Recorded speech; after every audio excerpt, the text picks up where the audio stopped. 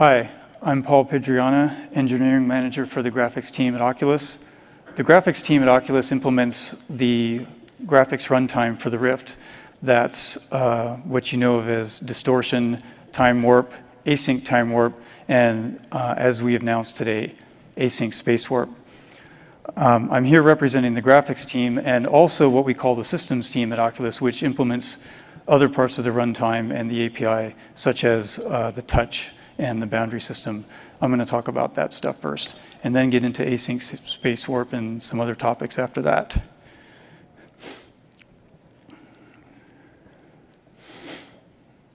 There's a disclaimer there. Oculus SDK is subject to the latest version of the Oculus SDK license agreement. Here are the topics that I'm going to cover. Touch controllers, the Guardian system, async space warp, some perf APIs and tools, uh, some notes about laptops and support for them, and then uh, some top application problems, something of a top 10 list of issues to be aware of. First off, touch controllers. Here we have a picture of a touch controller, the anatomy of a touch controller showing the, the button inputs and the trigger inputs.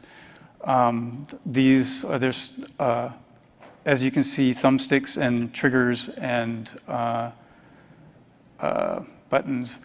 Uh, recall that digital buttons are on-off buttons, uh, while analog buttons are buttons that have a range, in our case from 0 to 1. So our triggers are analog, and the ABXY buttons are on-off buttons. Um, on the bottom there, you can see what we have is a grip trigger um, slash hand trigger. In our API, up till now, we've called it the hand trigger, but the, um, the um, Oculus has decided in the last week to rename that final name as part of the touch release as the grip button. Uh, similarly, um, the trigger, as you can see there in the center bottom, is in our SDK called the index trigger. It's being renamed to trigger. I'll talk about that a little more lately and, and how to make sure you're compatible and aware of the differences or the, the, the fact that those are the same. Um, all right, those are button inputs. Next is capacitive inputs. Capacitive inputs indicate the touch of your fingers on the controller as opposed to button pressing. In fact, the capacitance of this is why we call this a touch controller. The, the, the capacitance inputs are indicated up there, thumbstick, AB buttons. If your finger's touching that, uh, you're notified as part of that, including the index trigger. What I have here is a picture of some of the, uh, some of the gestures that you can detect with the capacitive touch input. You saw some of these earlier today in Brendan's keynote. Um, this is just a subset of what you can do.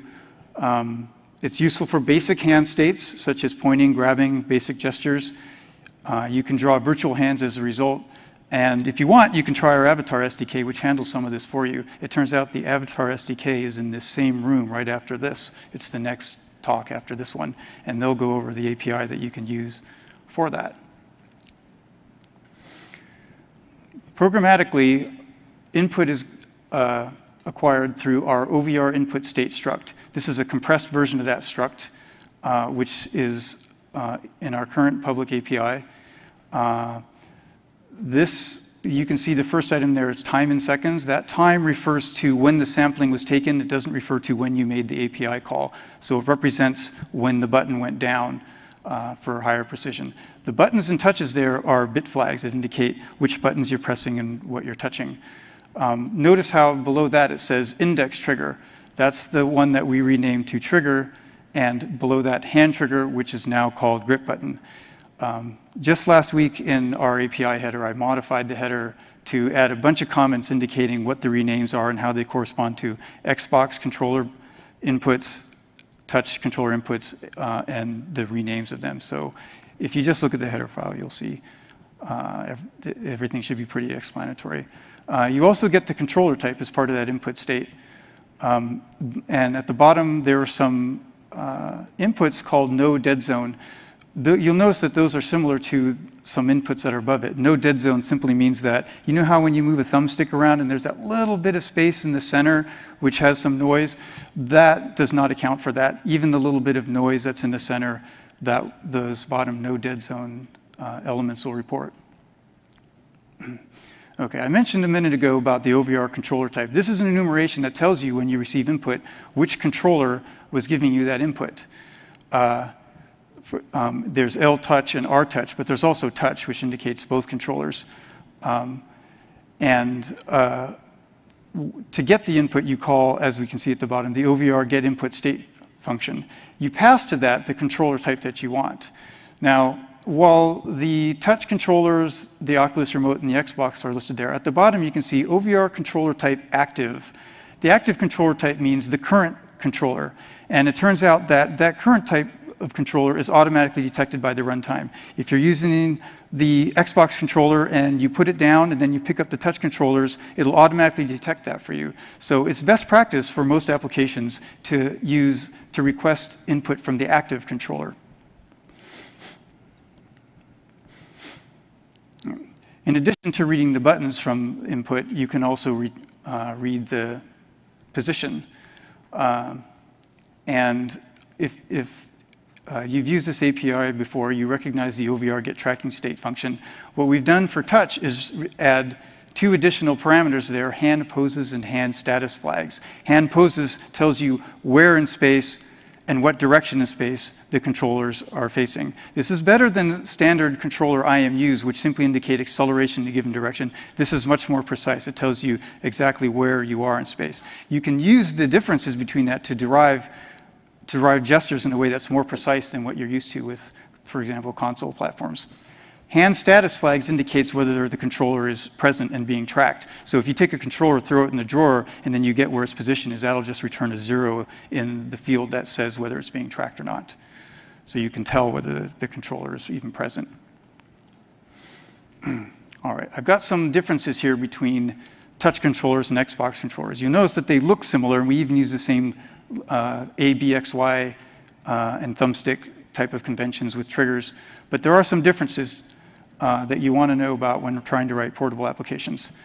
Touch controllers don't have bumpers, which is this top button right here on Xbox controllers. It doesn't have a D-pad, which is the arrow buttons, and it doesn't have the view button, which is the, the one little mini right button on an, on an Xbox controller. Uh, while it doesn't have those, touch has capacitive input, it has the grip button, also known as the hand trigger in our API currently.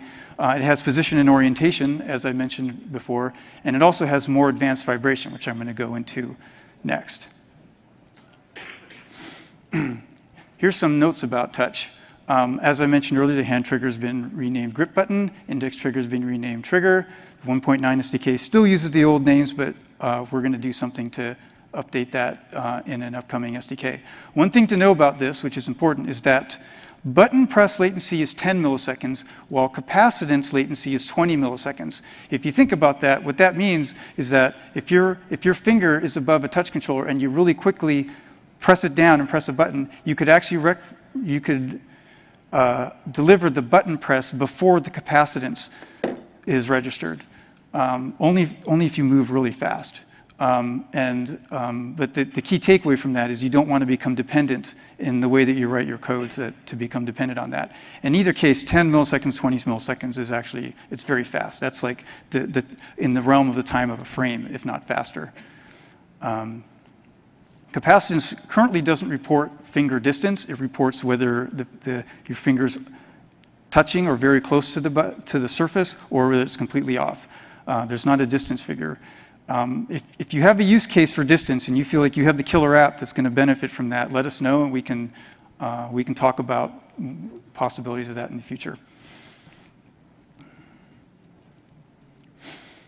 Um, here I introduce this concept of a touch controller TRC. If you've developed for consoles, you've heard of this term before, TRC, Technical Requirements Checklist. What it means is the standard set of things that you need to do in order for an application to be proper to give the user a, a consistent ex experience. Uh, we have some TRCs here for using touch controllers. One is to use OVR controller type active to get input from the currently active controller. The benefit of that is it means your application is automatically portable between touch and Xbox controllers, and Oculus remote for that matter. Um, avoid requiring touch controller movements that put them out of sensor visibility. So you don't want to have a, some, something that requires the, the user to, to you know, hide the controller somewhere where it's impossible for, to, to be seen by anything. Uh, also, use buttons naturally. Uh, a trigger should be the firing button if you have a, a, an application that's acting like a, with the touch controllers as a gun, for example. Also, make parallel button mappings between touch controllers and Xbox controllers. People might be switching back and forth, or someone, someone in one place might have one, and another person in another place have the other. So if you have an A button that works on the Xbox controller, you want to have that A button also work on the touch controller. Um, as I said earlier, don't assume that cap touch will be registered before a button press. It's possible that for one frame, those two can be reversed. All right, next thing to talk about here for touch controller is haptics, um, also known as vibration. Uh, uh, each controller can, of course, vibrate independently. Uh, the vibration capabilities of the touch controller are significantly more flexible than Xbox in terms of range, precision, and response. The Xbox controller um, uses uh, a rotational uh, vibration, whereas the touch controllers use what we call an LRA, linear resonance actuator, uh, which is, it's like a speaker, but imagine taking the center part of a speaker and, and putting a weight on it. So it's, it's moving, the speaker is instead moving a weight around. Uh, that's essentially how that works. Um, it's, it's, it's the future of haptics. Um, and more and more devices you'll see will have that kind of stuff. Um, the vibration of the touch controller is 320 hertz with controllable amplitude. It stops when your application loses visibility automatically. Um, and it automatically stops after a short time if you uh, don't refresh it. So if you make a call to turn it on and then your app just goes AWOL, uh, it'll, it'll stop automatically. The latency on vibration is also 10 milliseconds. So when you start uh, vibration, it'll take 10 milliseconds before it shows up. That's actually pretty fast. That's on the order of less than a, a vSync. Uh, we have two APIs for, for controlling touch. We have a simple API, which is here, which is similar to the one you may have seen on our SDK in, in the past. Uh, OVR set controller vibration. It's really simple API where you just set a frequency and an amplitude, um, and it just each time you call it, it pulses it for 2.5 seconds, uh, and that's about it. Um, one thing to note here, um, and this is something I'm going to bring up in a few other slides, it may return OVR success device unavailable. What that means is that your call succeeded, but the device didn't exist. So if there don't have any touch controllers and you set the vibration on it, it will it'll return success, but device unavailable, which means it had no effect. Um, if it returned an error code, that would mean that your application or our runtime is in an error state, uh, which is a much more serious situation. It's an actual error. Whereas this isn't an error, it just says, hey, you know, the, the, the controller wasn't there. All right, now we also have an advanced API. Uh, the advanced API has three functions, get, get touch haptics desc, submit controller vibration, and get controller vibration state. Uh, what this essentially does is it allows you to supply a waveform. You, send a, you, you, specify a buffer, and the buffer is an amplitude waveform, which it automatically executes for you, kind of like a wave file. And in fact, we have samples that will load a wave file and execute a wave file on the touch controller. Um, the, you can also get the haptics, get haptics just provides information about what the, what the bit rate of this buffer is. Um, and the, the last function down there, get vibration state, just you where you are, like you're halfway through um, this, this buffer, there's so many milliseconds left before the buffer's done and whatnot. You can, you can call this API again and it'll immediately start playing the, whatever you submit uh, immediately thereafter to override what you had before. Uh, this API only applies to touch controllers. It does not and will never, as far as we know, apply to anything like Xbox controllers uh, or, our, or our Oculus remote. It's touch controller specific. All right, next topic, Guardian system. This right here, here's a picture of it. You've probably seen some of this already, especially if you've been on the floor. What this does is this implements um, uh, a boundary around you. And what it's showing here is the case of a hand that's going up against the boundary and highlighting the boundary in addition to showing it. It's just a little demo picture. But here's a more uh, descriptive explanation of how it is. In, uh, there's two types of boundaries that you can see there. There's an outer boundary and there's a play area boundary, and that's what they're called in the SDK. The outer boundary is simply what the user scribes with the touch controller during setup, and that can be an arbitrary shape. That was that was my sloppy at-home shape that I generated last week there. The play area is an axis-aligned bounding box, uh, which is within that area. And um, the play area is normally the area that your application should work within. The boundary system itself, um, when it shows on the screen, however, is displaying the outer boundary. All right, here's some behavior descriptions here. The boundary becomes visible when you get close to the outer boundary, not that play area, but the outer boundary. It draws a virtual wall overlay that represents that boundaries. It's applied as a composited effect, which means it stomps over everything else in the scene. Uh, it, it, there's, no, there's no depth information that's being used there. Um, the, the detection of the boundary applies to the Rift and the touch controllers. So if, your if your hands get close to the boundary, it'll, uh, it'll trigger it. If your headset gets close to the boundary, it'll trigger it.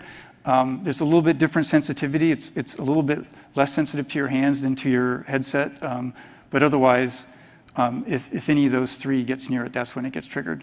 Um, it only applies to touch controllers if they're held, right? So if you take a touch controller, throw it in the box, it'll never, uh, it'll never trigger the boundary.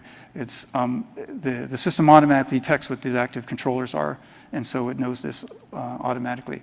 The boundary system is in real-world coordinates specified in floor points, um, and I have a point there about cockpit-based apps. If you're in the cockpit-based app and, this, and it has walls around you, the, the boundary system still exists in real-world coordinates, which will probably be outside of that cockpit, but um, it'll stomp over it if the user leans over far enough. Um, it's just an, important thing to realize here is that it's in, it's in your real world coordinates. It's not in your application's game coordinates. It doesn't know anything about your, your application. Uh, all right, applications have some control here. Uh, they can query the Guardian system visibility and geometry. They can query the play area. Um, they can tell uh, they can, they can request that it become visible, and after requesting that it becomes visible, they can request that it subsequently becomes not visible. Uh, you could conceivably augment it with overlays. In other words, if you, if you detect that you're getting close, you can draw something there yourself um, instead of the Guardian system. The Guardian system, if you cl close enough, is going to draw itself. Uh, you can change the RGB color of the Guardian system to, to go along with your application's theme. Uh, what applications cannot do is they cannot unilaterally disable the Guardian system. Only users of the computer can disable the Guardian system.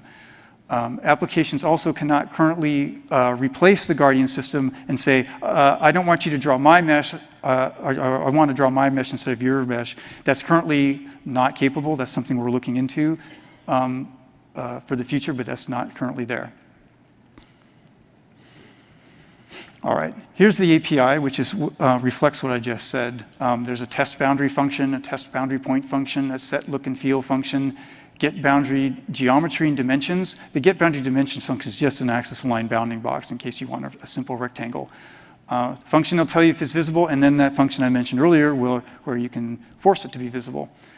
Um, uh, similar to the touch controllers, there are these success return values. Uh, this API, any of those functions in that API, can return OVR success boundary invalid or OVR success device unavailable.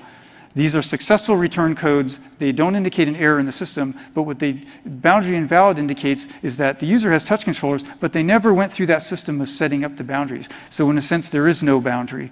Um, so uh, those functions will succeed, but have no uh, uh have no effect. For example, when you try to set it visible, it, it, won't do anything. Device unavailable is the same case as it was before. If the controller is sitting in a, in a drawer, then uh, the, the functions that apply to it will have no, no effect. When I say functions that apply to it, you can specifically ask, is this controller near the bounds? And it'll tell you if this one is. That's, uh, you can do that with any of the, uh, the three uh, types.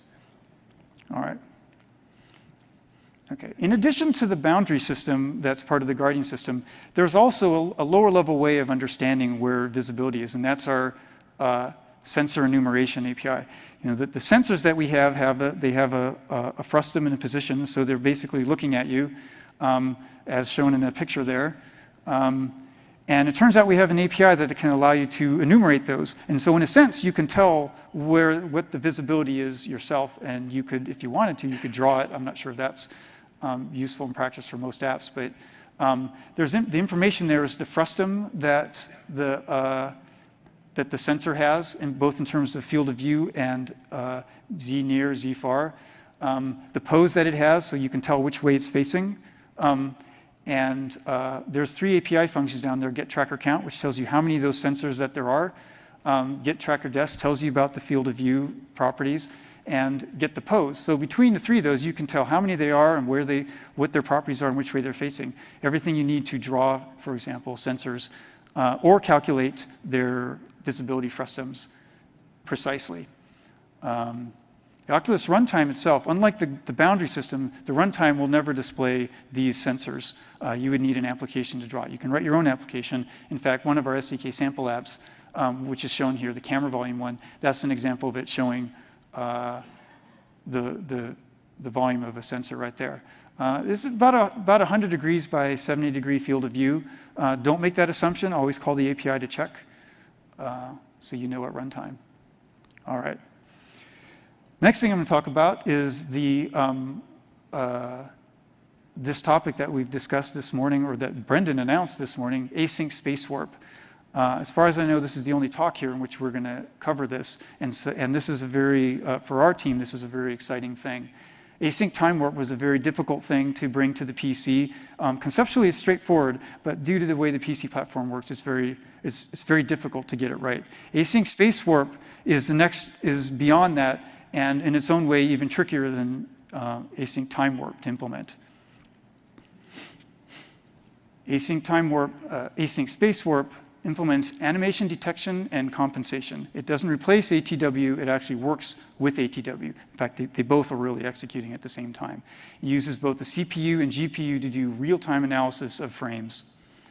Applications, when running in ASW mode, run at 45 hertz as opposed to 90 hertz when ASW is active. Normally an application can sit there and run at 90 hertz, but if the application starts missing or maybe the detail is turned way up, the application can't keep 90 hertz, ASW kicks in and starts running at 45 hertz. Uh, ASW compensates for object animation on the screen, camera translation, head translation as opposed to rotation, but it, um, in a sense it handles rotation to some degree too. Uh, it does all these things at once. So if you're translating and the camera's moving and stuff is animating on the screen, it, it can detect all of it happening at once uh, and compensate for that. Here's a picture, uh, for example, of how what you can see on the screen effectively uh, with ASW. On the far left, you have an application that's running at 90 hertz. And what's happening is you have a ball, and the ball is just going diagonally across the screen, you know, from the top left to the bottom right. And while you're moving your head, that ball is, is, is, is you're moving your head and the ball is moving at the same time. Uh, at 90 hertz, that still runs smoothly. Um, at 45 hertz, if there's no ATW, if, what would happen is that the um, frames would get doubled. The application submits a frame with the ball at the upper right, at the upper left. The application misses the next frame, so what do you do? You just draw it again. And then, so it misses every other frame. And if you've seen that, it's this stuttering look. Um, it doesn't just look slower, it actually, it stutters. Um, that's really bad, that's terrible. Uh, with ATW, what you get is a little bit of a jerkiness because ATW doesn't recognize that this ball is moving. It just takes the scene and moves it over. As a result, it'll effectively follow that trajectory. With ASW, it moves smoothly again because while you're moving your head, it recognizes that there's a ball on the screen that's moving diagonally, and it can detect that and smooth it out. It's, it's a huge difference. All right, now, next I have an example of nonlinear animation. In this case, we have a ball that's scribing a little bit of an arc. It's not going in a straight direction. As a result, it makes it a little bit harder for ASW to tell where it's going because it's, it's a little bit inconsistent in where it's going.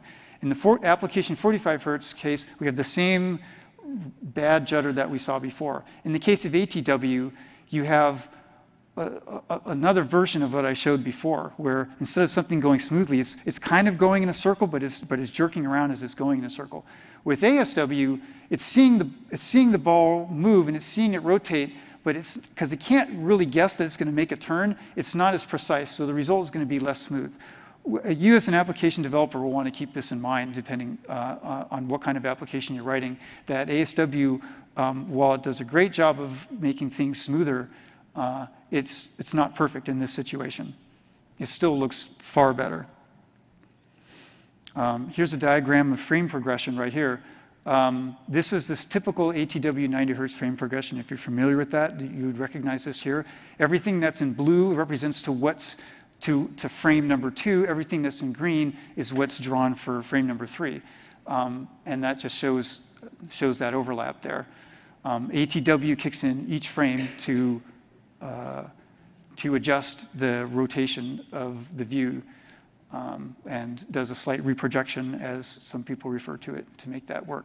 Now, ASW is on the next frame here. It looks a little more complicated, but what's really happening here is the application is given more time to draw, and when the application doesn't hit every single frame, ASW, as you can see in blue there, kicks in every other frame. ATW by itself kicks in in the other frames. Uh, we're not going to spend a lot of time analyzing this. You can, some of you are taking pictures, you can look at them later, and it'll become fairly obvious to you what's going on there.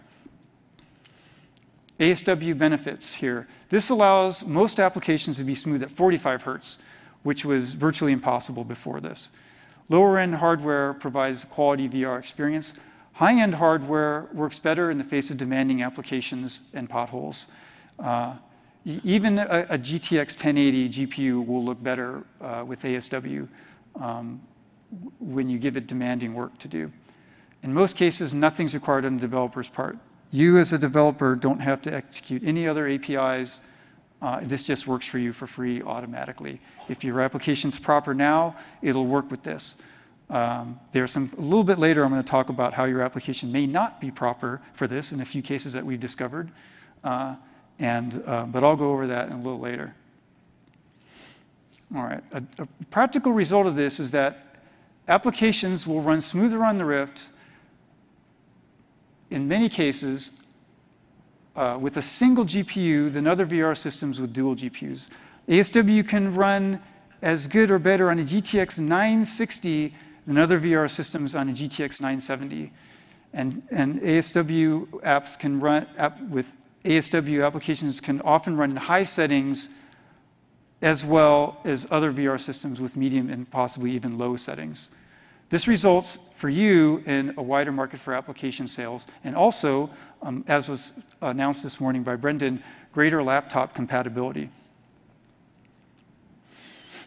Um, as announced this morning, in association with this, Oculus is introducing a new minimum spec for hardware. Minimum spec presents a bar for good VR on the Rift, uh, min-spec is in addition to the existing recommended spec. So if you're used to shipping games, you'll notice you often on the box you have this idea of a min-spec and a recommended spec. This is a similar thing. Um, although I think um, we discussed it internally, we, we feel that what we call min-spec is actually better than what a lot of games refer to as min-spec. Games min-spec is often a pretty, pretty weak thing. Min-spec on the, on the Rift here with ASW works pretty, pretty well, actually.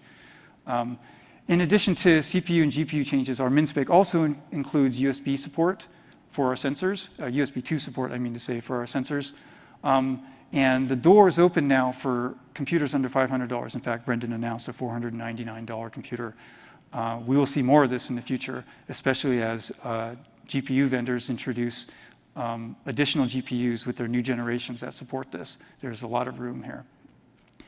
Uh, here I have a little slide explaining or describing what this is here. Minimum spec GTX 960, recommended spec there's some, some stuff there, 1016, 470. One thing you might, know, you might notice here about the minimum spec is that there's not an AMD uh, GPU listed. The reason why right now is because the 470 down there, which was up till now our recommended spec, the, the 470 is now is, um, is good enough to be a recommended spec GPU. So in, conceivably, we could put that minimum spec, but the 470 is good enough we can actually lump it into rec spec. You can go on the internet and get a 470 right now for 185 bucks.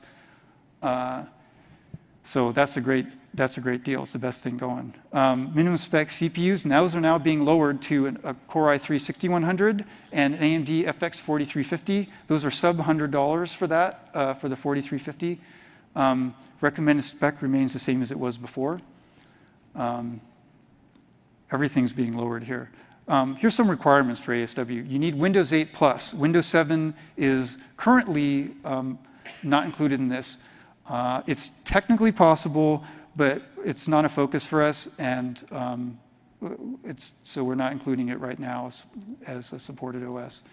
Uh, you need an up-to-date graphics driver. Um, new graphics drivers coming out by the IHVs uh, this month will make um, uh, will take full advantage of ASW or fully support it. Um, you need the Oculus runtime 1.8 or later. Um, um, AMD is coming with um, probably the next release. Um, and I say 1.8, that's the current version. ASW actually works in what is currently shipping right now. Um, uh, you can tell from the log how to do it. On the next slide, I'm going to show you how you can enable ASW now in the 1.8 runtime. This works today.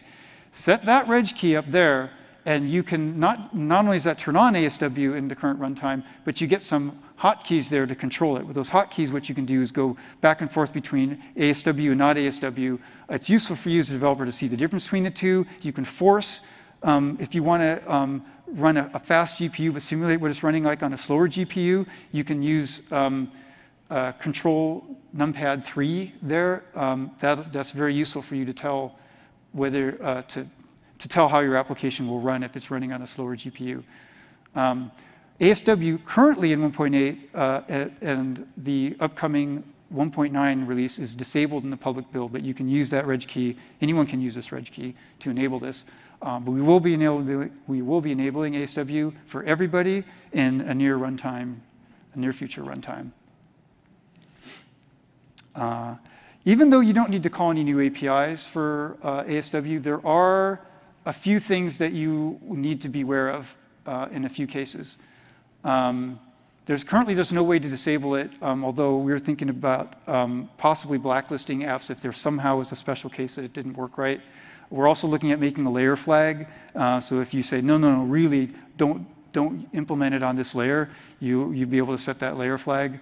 Um, if, if, anyone has any feedback on that or ideas about that, uh, let us know. You can talk to me afterwards or just talk to our developer relations at any point in time. Um, but things to be aware of here, very flat shading. If you have a screen, if you have, a, if you have an application that's using entirely flat shaded polygons with, with no lighting or shading at all, um, the, the code that attempts to detect which things are where and where they're moving could, could have a hard time. Um, animating translucency is potentially a problem. The reason why that's the case is if you have something animating and it's translucent, and you have something that's animating and it's translucent behind it, it sometimes is not smart enough to tell which one is which. Um, and uh, that can create some artifacts on the screen in some cases. If you have very fast or jumpy animation, if you have something that's like swinging around in totally random directions really fast, um, you know, it's going to have a little bit of a hard time guessing, guessing where that's going.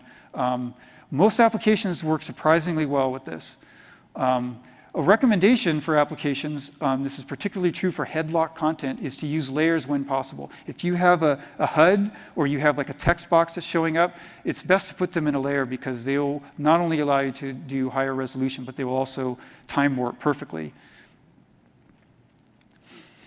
All right perf. Um, if you've been working with uh, VR for a while, you know that probably from a perf standpoint, the most important thing, uh, the most important metrics are app latency and app drop frames. Uh, in a sense, those are two versions of the same thing. Once the app latency gets out too far, the application is dropping frames. Um, a drop frame is, is, is, the worst thing, but um, latency is, you know, it causes your head to be a little bit behind um, what, what's you intend to draw. And um, those are key metrics, and they're, they're still relevant. Um, what we are introducing with um, the 1.8 SDK is a new API called OVR Get Perf Stats. This API introduces a number of new metrics that you can use to tell in runtime how your application is running. Um, if, you, if you've seen the perf HUD, which is, shows all those, is on screen, shows all those numbers, uh, this is effectively a programmatic version of that. Uh, there's a bunch of members there, but I currently here have only five of them, with the top two being the two I just mentioned, misframes and latency. Uh, there's other, you can look at that struct in the latest SDK, you'll see some more uh, stuff. Um, the OVR get perf stats function is the one you want to use. It gets up to the last five frames of stats. Uh, if you don't call it once every five frames, then it's going to drop information. So you either call it every frame or call it every other frame or something and, and, look at the old data. There's a reset function, and the reason why it's a reset function is some of that data is accumulative. It just counts how many misses there were, and sometimes you want to reset that. So, all right. Um, one other thing that's in there is a new feature that we're discussing called adaptive GPU performance scale. What this is, is this is a value that we now return to you that that tells you how well your application is meeting frame rate. And, if, and this value is part of that perf API. If it returns 1.0 continuously, that means, hey, you're making frame rate fine, keep, keep it going as you're going. If it returns 0.8, it means, oh, you need to reduce your GPU usage by 20%. If it returns 1.2, it means you are free to actually use more GPU, maybe increase your detail, make your eye buffers a little, a little bit bigger. It targets 80, 85% GPU frame usage, uh, in case you're wondering what it's using as a heuristic. Um, it re reports a non 1.0 value every once in a while, so if you, it'll return 1, 1, 1, and then you'll see a 0.8, and that means, okay, I need to I, I, might want to switch down to using 0.8, but then it'll, it'll switch to showing one again. Um, just every few seconds, it pulses that value. Um, um, Unity and Unreal actually have this built in already. Uh, you have to enable it with a checkbox, but other, once you do that, it'll automatically happen, and they implement that by changing uh, eye buffer resolution. Um, and the simplest handling for you as a developer is simply to reduce the rendered area by that value. So if you get a 0.8, that means reduce your uh, 1,000 by 1,000 area to, say, 894 by 894. Uh, here's an example of it in, in practice, taken from Showdown demo. On the left, you can see an application that's trying to make 90 hertz, the blue line the, the, blue line across the top. And you see it starts out at 90, it drops down to about 80. Then it gets 90 again, then it drops way down to like 70, and then it gets up to 90 again, and then drops a little more. And it's not doing anything. It's not changing its eye buffer resolution. It's just, it's, it's just failing periodically. What we do on the right, that orange line, is the perf value that we're telling it. We, we're telling it 1.0, and then it drops down, and we tell it, no, execute at 0.8 um, GPU usage, and then say 0.6 GPU usage. And in this case, what we measured, as you can see in the top, the application was following that, and the application is maintaining a steady 90 hertz. This is an Unreal demo, by the way, Showdown Unreal demo. Um, one thing you may be wondering is that th if this thing lets you keep 90 hertz and ASW works at 45 hertz, which is it? Do you maintain 90 hertz with this adaptive perf, or do you let ASW take over and execute at 45 hertz? Right? If you think about it, those are like two things that are both allowing you to execute better in the face of not being able to make 90 hertz. The answer to that question is you can do it either way. You, you can let your app drop to 45 hertz and have ASW handle it, or you can reduce your eye buffer size and maintain 90 hertz. The, the, the advantage of that is that you'll have higher frame rate. The disadvantage of that is that your, your view will be more grainy. Um, and um, in the last bullet point down there, I, I have my, our suggestion is, if the more detail you want to keep, the more you lean towards ASW. Uh, if, you have, if, if you have text on the screen, fine text, it's almost always better to let ASW handle this as opposed to making a, a, a grainy uh, eye buffer. Right. Tools.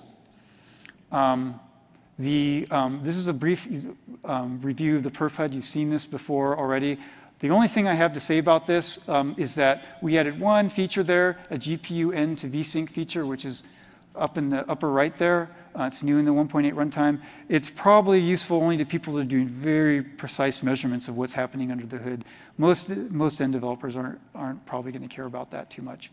I don't have much to say about that. Also, the Oculus debug tool. Um, if you've seen this, um, this is a tool that we've been shipping for a little while, and we're adding more features to it. You can, you can control the debug HUD. One thing that we're, um, that we're doing, uh, working on now, is adding ASW control to that. So the same hotkeys that I showed you earlier, uh, we're working on getting them into there, so you can just drop, use a drop down to get that. Um, you can also control the pixel uh, display density. Um, there's a lot of people on Reddit saying, hey, I can make my view look better by going to the Oculus debug tool and cranking that up. And that's basically true. You can go in there and crank that up. And um, if you have a really fast GPU, then everything will, uh, well, not everything, but a lot of stuff will look better. So we're looking to exposing that into a, a more formal way in the future, which um, also in the 1.9 SDK, we have a command line version of this tool. Um, also new in the 1.9 SDK is Oculus TRC Validator. Remember earlier I said this thing called TRC is a requirements checklist for applications that want to behave well. Um, and, and, I have a, a, couple examples here. Example number one, applications should always draw and submit frames when they're visible, but when you're not visible, don't draw uh, and don't submit frames, don't use any CPU. Um, and another example is that when the display is lost, like a, um, like a TDR, uh, the application should not, the application needs to, application needs to stop. Um, there are a surprising number of applications that um, have problems um, dealing with both of these. We have applications that when they lose focus, they just keep executing, they keep submitting frames, and, and the users are wondering why their computer is going slow when they took their headset off. Um, the Oculus TRC validator is a tool that helps you automatically find these common problems by simulating these things. If you've used Windows App Validator, where it automatically throws a throws a problem at your app and sees how your application can deal with it, that's how our TRC validator works. Here's some. Here's just some command line invocation. Uh, you can you can just run with dash h. You don't you don't need to read this in detail here. See how that works. There's an example of it. And this is what the output looks like right here. Um, it's just a, uh, it, while it's doing that, it's launching your app, executing some stuff. You know, it'll it'll simulate the the IPD adjuster moving and making sure your application is recognizing that, for example. All right. Next, I want to talk a little bit about laptops. Um, uh, laptops are becoming more significant now because, um, as Brendan announced this morning, we have a number of new laptops that are certified as Oculus ready, and we expect to see significantly more in the future. This is a, a, big difference from just six months ago where there were hardly any laptops that were capable. Uh, in 2005, I think there was only one GPU, a, a, special 980, GTX 980 that could run in laptops. Um, new generation AMD and NVIDIA hardware are changing that quite a bit. Hybrid graphics systems uh, still present challenges for laptops. That's what um, some people know as um, NVIDIA Optimus, AMD Enduro. I'll talk about that in a minute. Um, Hybrid graphics is a way to transparently route your, your powerful GPU graphics through your weaker integrated GPU. It's originally conceived to deal with power savings. Um, it, the idea is that um, most of the apps on, that are running on a laptop, you know, Notepad, Microsoft Word, they don't need a powerful GPU, so run them on the integrated. You run a game, you want to run it on the discrete.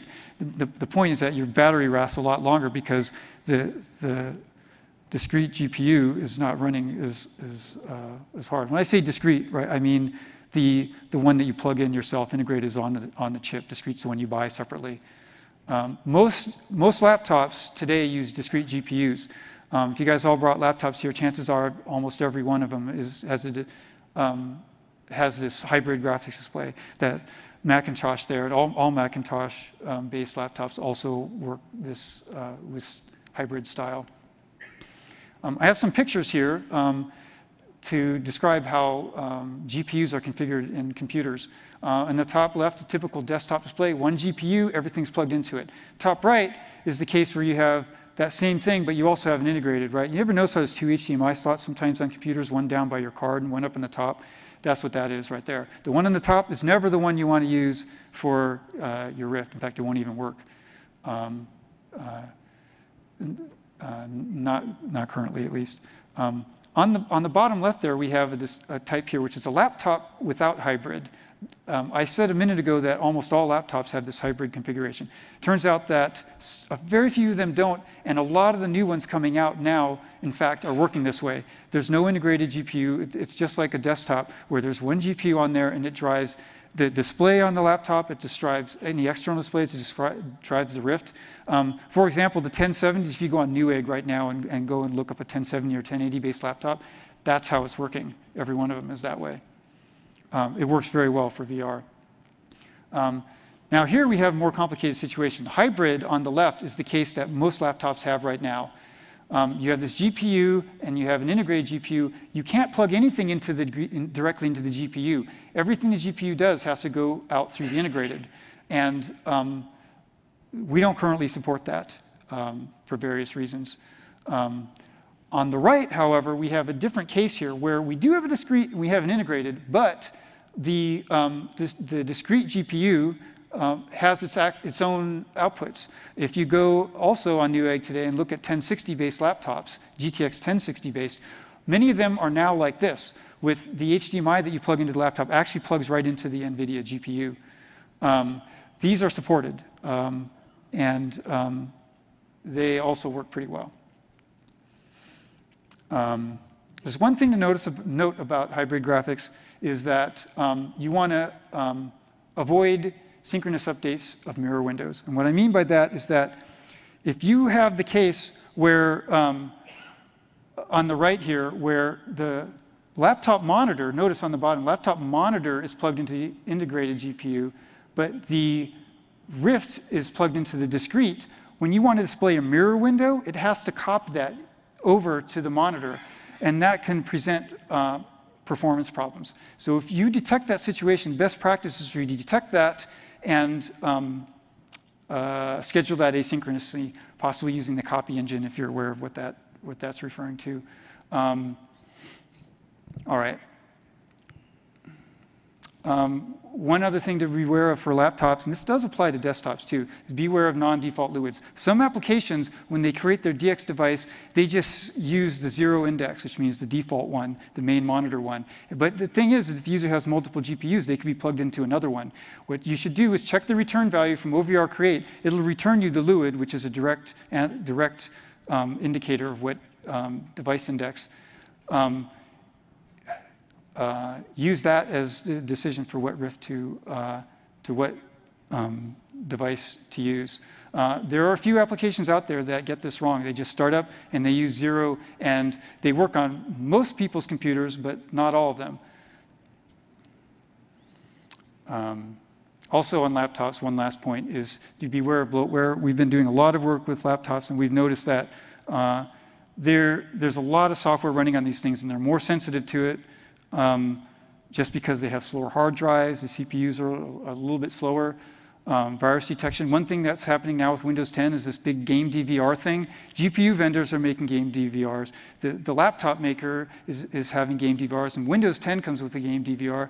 You could have three different applications all doing DVRing your uh, three different systems, DVRing your app at the same time now. Um, granted, we're working with them to make it so that when VR is active, this is automatically disabled, um, but you may, you will likely still run into some issues with that. All right. This next topic here, which is actually the last topic, is a topic that's near and dear to my heart, top applications problems. This is like a uh, Dave's top 10 list of things that we notice that applications do wrong. It's like the TRC thing I was mentioning earlier.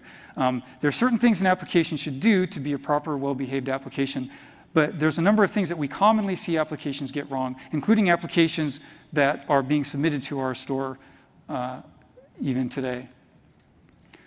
Um, uh, I should also, this, this TRC validator app that I referred to earlier, it can detect many of these and will hopefully detect more of them automatically in the future.